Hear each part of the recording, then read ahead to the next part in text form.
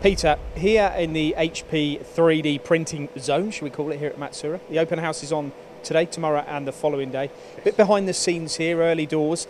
Um, I know Chris just focused on some of these parts here, but what will you be showing in the coming days? Well, we've got the 580, and we were lucky enough to have the first colour enabled one, so we've had a good chance to get some parts off that. So we've got some colour parts on display. We will also be printing with colour this week as well.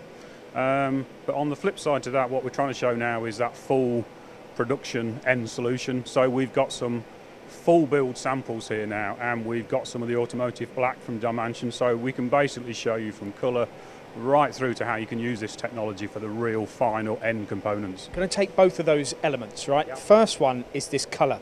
The detail on this, Peter, I mean, it's just incredible, isn't it? Did you, you, you came up with the idea for parts like this? Yes, it was a, you know, it's a Kageyashi cube.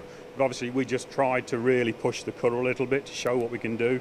And as you can see, we can get colour almost face to face because that's printed absolutely flat. So yes, it's just a bit of a show off, but it really shows you what we can do with the colour.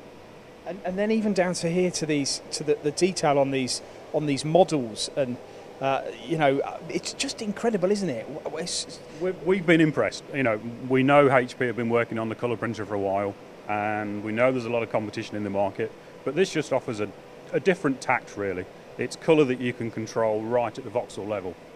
um, if you want to know more detail about this how you go about creating parts like this how you how you set the, the, the colour tones and all of those elements then come here to Matsuura to talk to Peter himself let's just have a look at then some of these more what you'd align with production parts then Peter this is this is a big area isn't it It- is, and I think it's probably the area that we need to try and get the most exposure to now because um, the fact that you can print parts to this quality with leatherette finishes, automotive finish, that people just genuinely don't believe it's printed.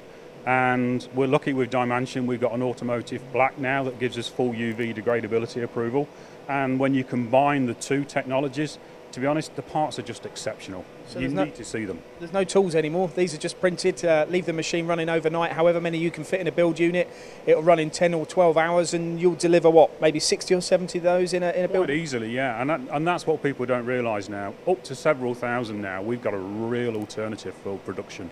Good stuff. Okay, so that's it. The Matsuura Open House. Come here and see Peter uh, and talk to him about uh, this additive manufacturing, which really is. Um, I'm so impressed and, and, and blown away by some of the some of the products that you've been making. In fact, in a short while, we're going to have a look at one of the, the chess boards as well. But uh, yeah, the Open House runs. It uh, starts today.